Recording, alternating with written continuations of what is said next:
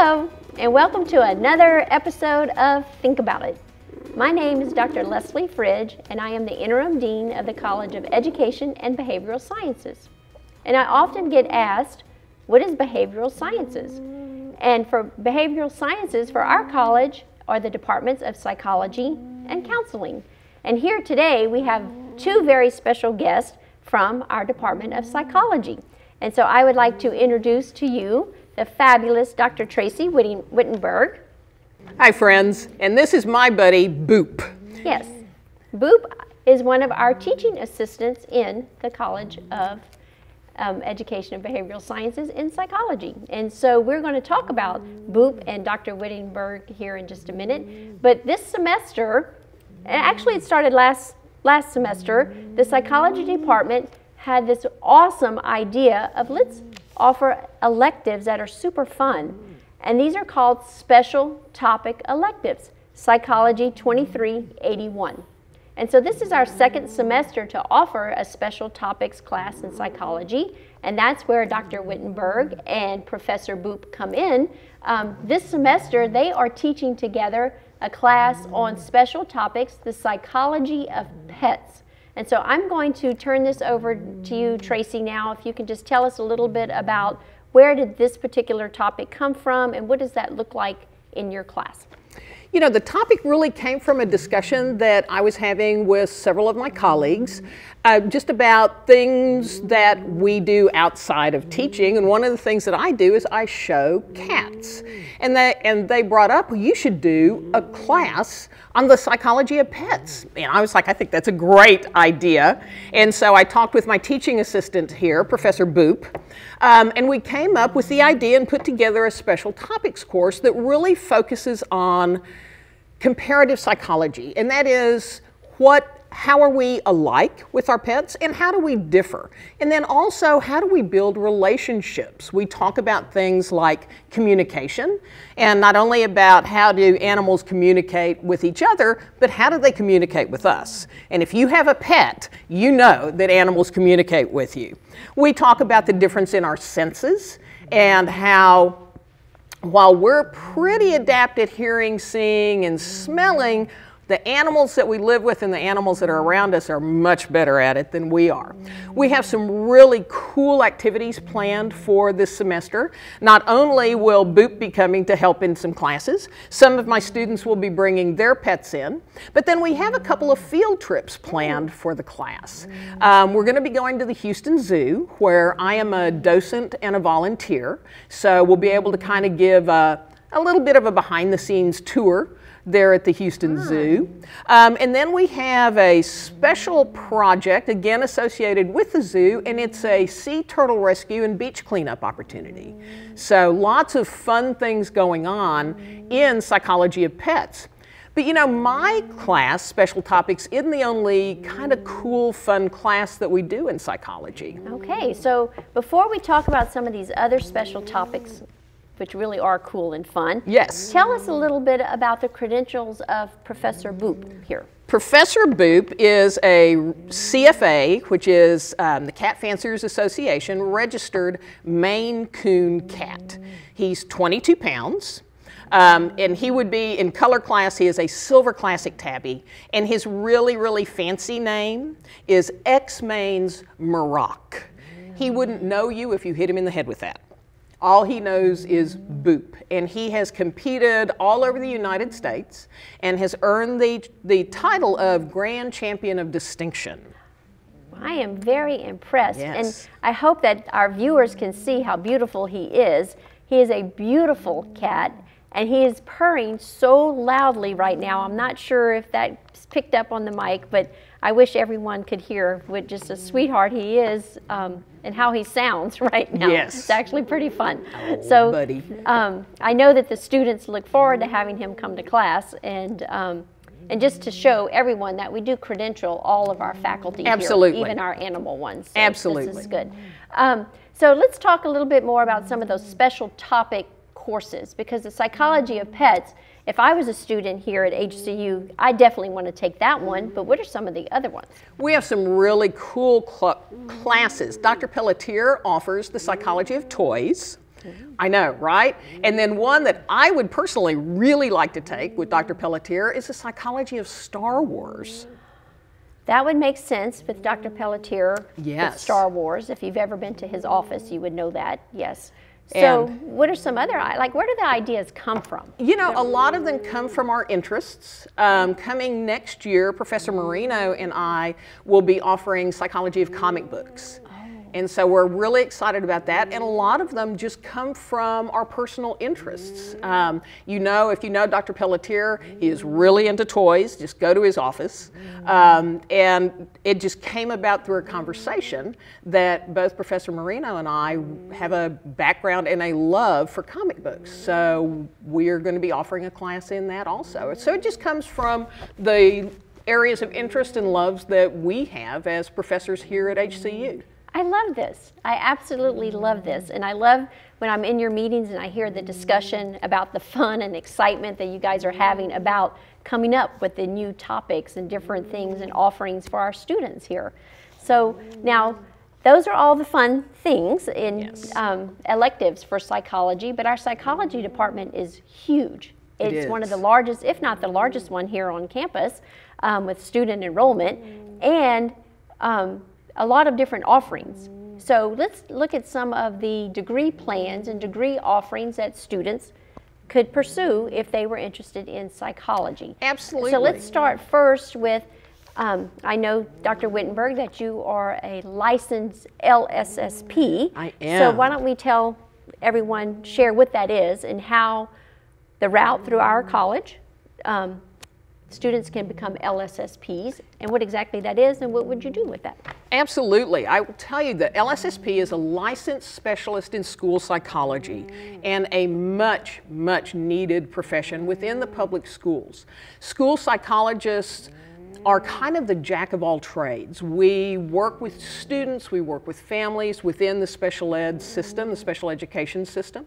We provide counseling for students. We work with teachers and administrators in planning appropriate programming for students with special needs. And then we also do the assessment um, to determine whether or not a child may qualify for special education services. And so we are kind of not only greatly in need within the public schools, we are the jack of all trades.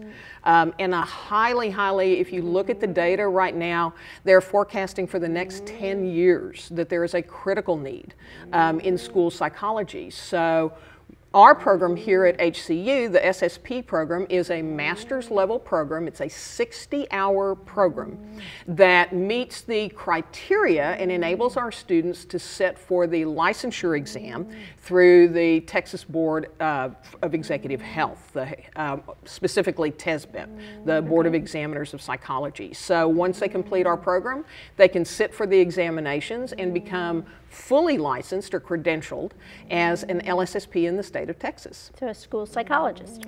Yes. So you said it was a master's program. It so is for our master's. students that may be listening to this, um, and they're undergraduate students, Yes. is there a particular undergraduate degree that they would need to have to become an LSSP in, in our program? That is such a great question. And I will tell you, we have students from truly all backgrounds. We have individuals who have been teachers.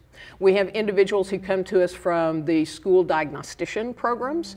We have individuals who have a psychology bachelor's degree, but we also have people who come to us with biology degrees. Um, with uh, we actually have somebody who was a legal assistant. So we have a lot people from various backgrounds that, that come into our program. Okay, thank you. Now that's just one of several wonderful programs in our psychology department. Let's start with our undergrad. We have an undergrad bachelor's degree, a four-year undergrad in psychology. And what do most students that major in that? Because students who are listening to this may be one of our students in that program right now. Kind of what is a, a career path that those students might normally take or recommended to take? Right. With an undergraduate degree in psychology, there's certainly some areas that are open. There are working within some private clinic as behavioral therapists that, that are available, working within the public health community as intake specialists or case managers. Um, it's that type of field that don't require a license, if you will, in order to participate. So our students with a psychology background go into a lot of different areas. Law enforcement is one, some pursue the medical profession. So it kind of depends on their area of interest because a bachelor's in psychology opens up just a lot of, of avenues that you could pursue. So if you wanted to be licensed of some type, you would have to then pursue a master's or even a PhD level Correct. program. Correct. So let's look, we've already talked about one of our HCU mm-hmm. master's programs, the LSSP program, but I know that we have just rolled out an MAP, what we call five-year. Yes. And so let's talk about that. Really exciting program. You started talking about our undergraduates. Undergraduates who are really interested in pursuing a master's in psychology um, are able during their sophomore year to apply for our MAP, Master's in Psychology 5 program. And what that does, it gives them the opportunity during their junior and senior years here at HCU to take courses on the master's level.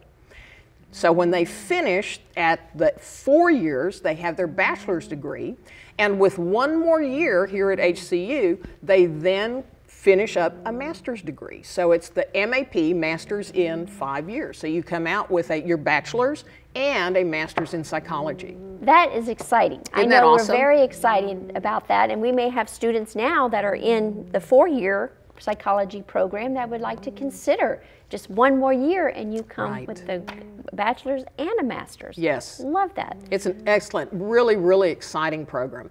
And that master's in psychology, if you think about it, there's really two tracks within our master's in psychology program. Okay. One would be for students who are really interested in like research and perhaps going into research full time or pursuing a PhD Okay. um, or PsyD, or a student that might be interested in teaching at the community college or junior college level. So there's really two interest tracks within our Masters of Psychology program. Okay.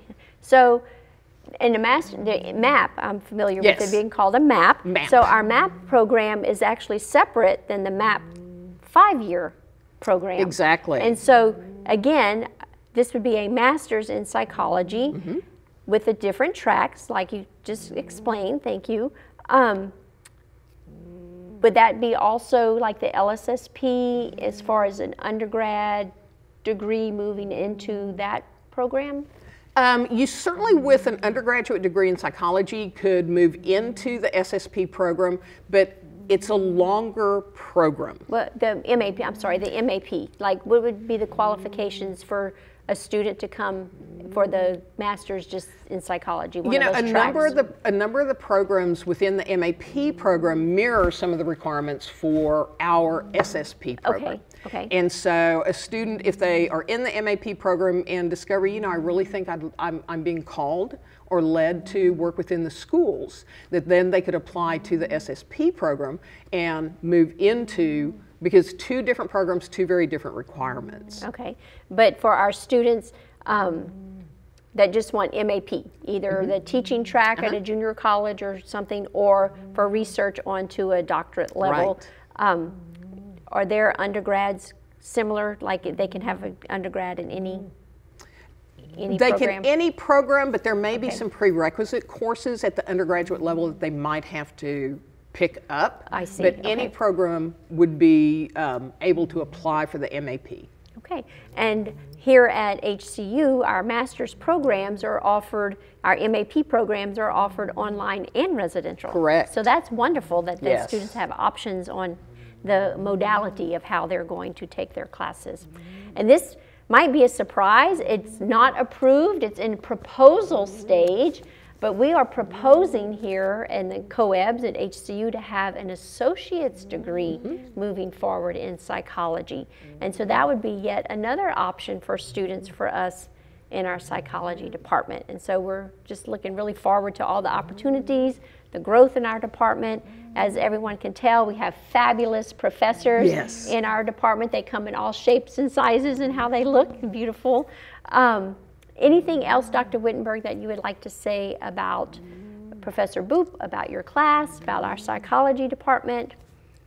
You know, I'm, I'm just going to say one thing. Being here at HCU, I think that's what sets us apart from every other program, whether it's it's here in Houston or a little bit further north, is our, fish, our Christian focus and our focus on faith. And I think that that shines through in everything that we do. And I think it's so important and really sets us apart, if you will, from the other cats in the pack.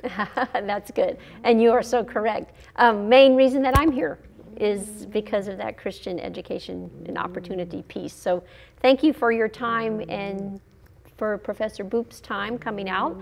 Um, but before we head off, you know, psychology is not the only department in COEBS. We also have counseling and education. And so just wanted to mention those. Hopefully they'll be featured in another Think About It uh, podcast. But our counseling programs are master's level programs that lead to some lead to licensure, some with focus in Christian counseling. Um, our education department certifications and licensures from initial teachers to professional certs to principals to superintendents, our doctoral. First doctoral program here at HCU is in our education department. So a lot of options in College of Education and Behavioral Sciences. You can follow us on social media. We have Twitter account, Instagram, and a Facebook page. Or you are welcome to come and visit any of us in Hinton on the third floor. So that's it for our time together here. Thank you again for coming out, Boop, and joining us here, Dr. Whittenberg. And hopefully everybody will join us next time for another podcast of Think About. Thank you.